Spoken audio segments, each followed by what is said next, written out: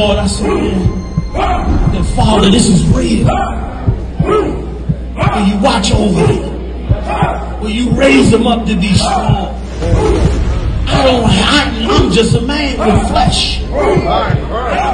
This is what you call for in your scriptures. You said they wore studs and fringes, they got it on. You said they will follow the law, they doing it. They ought to love one another. And they doing it.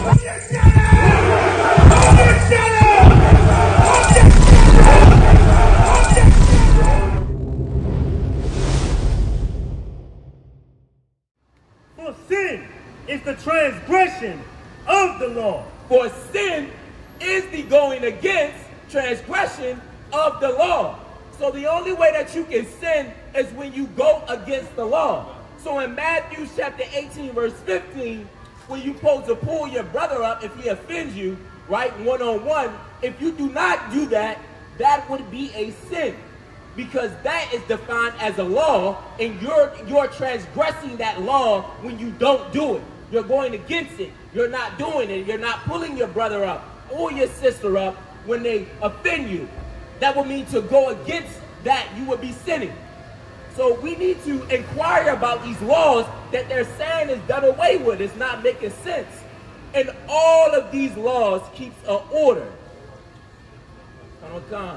All of these laws take, gives an order in our nation and in our community. It keeps order. It keeps a clear motion under the Most High. It saves you from uh, uh, uh, unaliving your brother or being unalive. It saves you from having misunderstandings that will cause a break in the family. Any more on that? Read it again.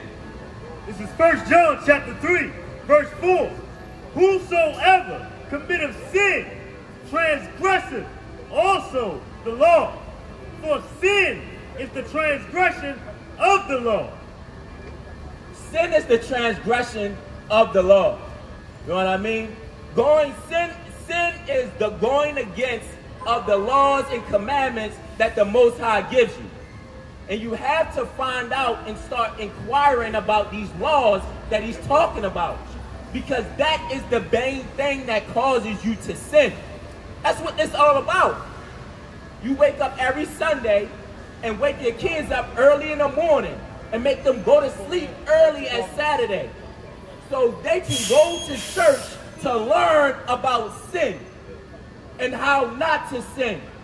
You stress your brain talking to your children about things that they shouldn't do, they, how they shouldn't sin. Well, we need to find out the laws to know how we are sinning. And the Christian church has did a terrible job at it. Right. They did a terrible job. You see it on TV, in the media, TikTok, IG, a terrible job. There's no more famous pastors left. They're either in the alternative lifestyle community or they did some type of crime. We have to start doing this ourselves. We need to come back to the Most High. These laws was the missing piece that will get us back being a nation that is not crippled by drugs, that is not crippled by pedophilia, that is not crippled by so many of every female you meet has some type of story about being assaulted, about being the R word. It's ridiculous. You know what I mean? It's, it's crazy. Everybody has a friend that has been unalive, that has a friend that is in prison, that has a friend that that that that is on drugs. Having order in your community prevents all of this. You know what I'm saying? It's the step before to prevent sin. It is needed. The law is the step to prevent sin. Knowing what it is so you won't do it. And we're going to get some more into it. This is Romans chapter 4, verse 15. Because the law worketh wrath, for where no law is, there is no transgression. One con. Now this is saying, read it from the top again. God. This is Romans chapter 4, verse 15. because the law worketh wrath. For where no law is, there is no transgression. So that's saying is, we understand that there's the law, not going against the law, transgression against the law is sin.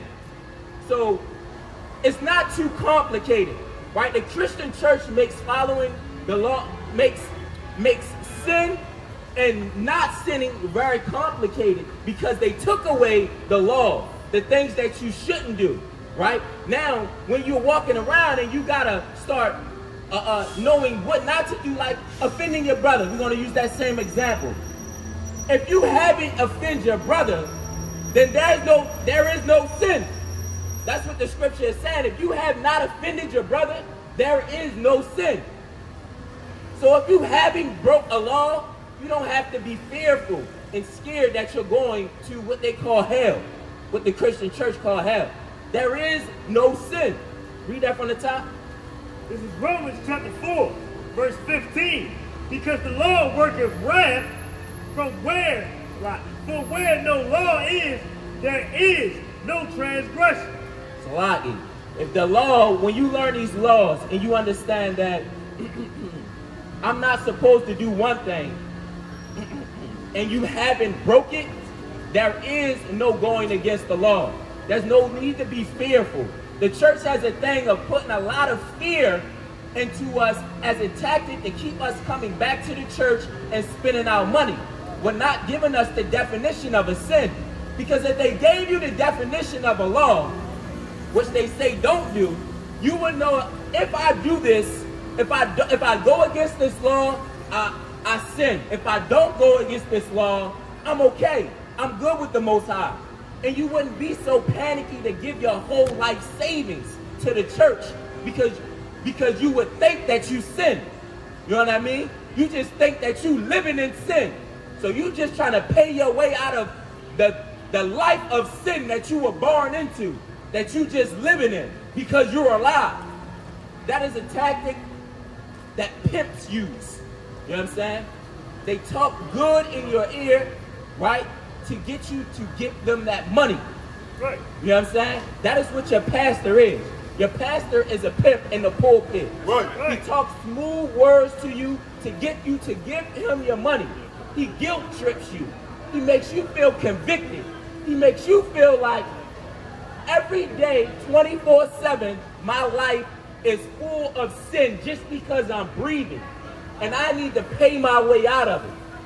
And this also adds to your poverty, black man. You know what I'm saying?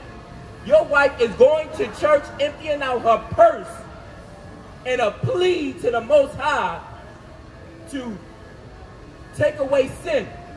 Understanding that these laws that we follow and that we have to keep, Salaki, that we should follow and that we have to keep is the key to being under the Most High's good grace we gonna get some more to it. And this is, and this is why we need to start asking these pastors, you know what I'm saying, about about about uh, uh, uh, uh, making them explain what they're saying because they're telling us anything. They're not giving us chances to respond back to them. They're, they're not giving. They're, they're telling us that we have to ask them questions after the service is over. After everything is done with, we get to ask them questions one on one. But what about everybody else in the congregation? Right? What about everybody else in the congregation? We all speak to, we all think the, thinking the same thing. Pastors don't let you ask questions. They, because they have no answers. That's why they're not letting you ask uh, uh, no questions. That's why you don't know. We haven't been taught anything. You saying? But songs and clap and tamarines and good and lyrics to songs Glorilla comes out of the church. She, Glorilla grew up in the church. Her parents were Christians. And the product of two Christian parents is Glorilla. That's the product. Right. So we're seeing, we're seeing what the Christian church makes. They had a long run. Their run has been very, very long. You know what I'm saying? Give me um uh, uh, 1 John 5 and 3. Salaki. My bad. Give me 1 John 5 and 3. That reign has been very, very long. You know what I'm saying? And nothing has changed. You know what I'm saying? Homelessness hasn't went down from the help of the church. It went up. Crime hasn't went down from the help of the church. It went up. And most and when you in the church, you know what I mean? The youth in the church are the or most of the time are the ones that are selling drugs outside of church. You know what I'm saying? Are doing are are, are fornicating outside of the church. They're the ones. It does not help. You got that? Come come. You know what I'm saying? So we need to start taking what we have seen coming out of the Christian church and we need to start challenging it. We need to order them to explain first these laws and why we shouldn't follow them. Why are they telling us that we shouldn't follow them? When you have a child and you tell him don't smoke, you explain to him why he shouldn't smoke. You give him the pros and the cons. I'm telling you this, and this is the job of a father right? And a pastor is a father to the congregation. He's teaching them. So he should explain to them the laws are done away with. These are why the laws are done away with, and these are the laws. And then showing you the connection of how following these laws destroy the people. But he can't do that. Like eating shrimp and crabs. And, and how many blacks and Latinos have high blood pressure and eat pork. That's against the Most High to eat pork. This is why you have all types of health issues in the black community, and, La and Latino community, and Native Indian community. And we, we wonder why, what is going on. It's because you're not following the basic, fundamental, practical laws of the Most High. You I'm saying? That could save your life. You got that? Ahead, read. This is First John chapter 5, verse 3. For this is the love of God, that we keep his commandments, and his commandments are not grievous. This is the love of God. This is how you know that you love the Most High, by you keeping his laws. So if we don't follow the laws no more, then that means you don't love God. This is this is scripture. And what is this? This First John chapter 5. This is the New Testament. This is what the Christian church follows. They say they don't follow the Old Testament no more. They don't follow the laws no more. They follow the New Testament. And the New Testament is saying what again? This is First John chapter 5, verse 4, slide, verse 3. For this is the love of God, that we keep his commandments. And his commandments are not grievous. And his commandments are not grievous. It's not grievous to not eat pork. It's not grievous to not, it, it, not eat shrimp, to not eat lobster, to pull your brother up when you have an offense on, when, when, when y'all offend each other, when he offends you or you offend him, and talk to him one-on-one. It's not hard. It's harder and takes more energy to go to somebody else and tell them the whole story. That takes more work. That takes more energy. Or by, or That's Bible, harder. Touch something, I don't know what I touch. And it destroys our people. Like getting high, being a drug dealer. That is a hard life. It takes a lot of energy to watch your back, to strategize on the block, to assign a watcher, to assign a hitter, right? To assign a good enough hitter, to pay him, to go meet the plug, to bring the work back, to dodge the police, bringing the work back, to find a spot to hide it, a spot you can trust. That's a lot of work to make to make sure that your money is coming back right. You know what I'm saying? The Most High is against it, and it destroys our people. You know what I'm saying? That's why we missing friends. We missing cousins. We missing fathers.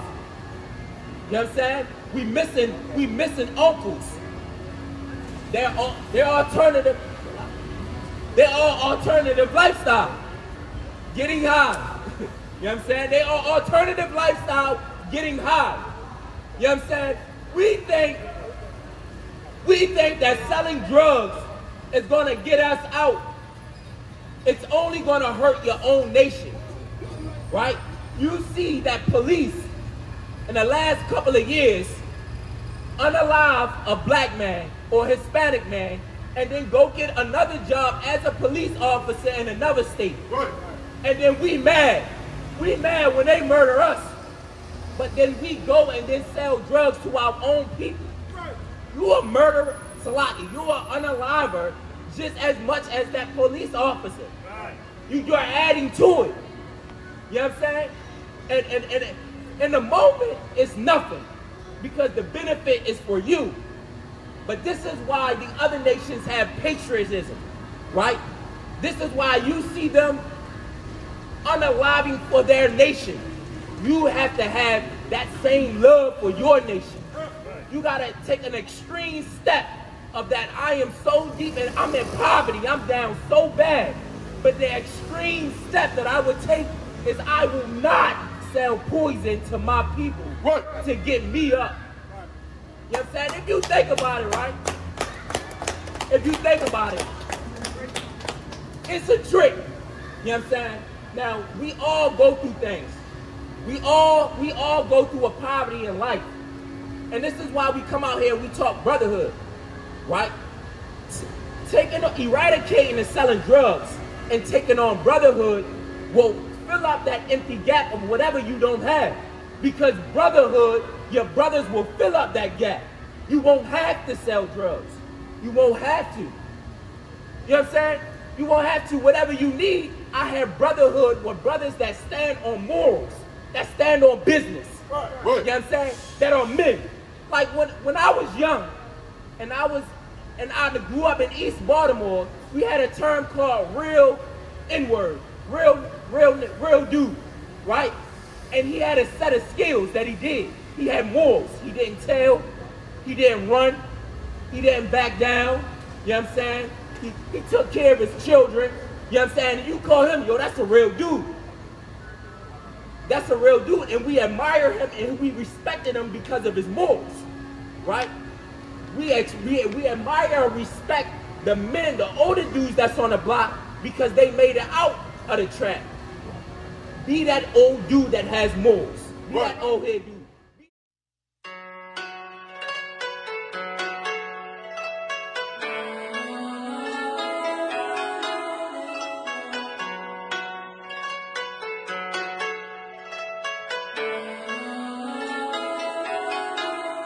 Yeah, Babylon is falling.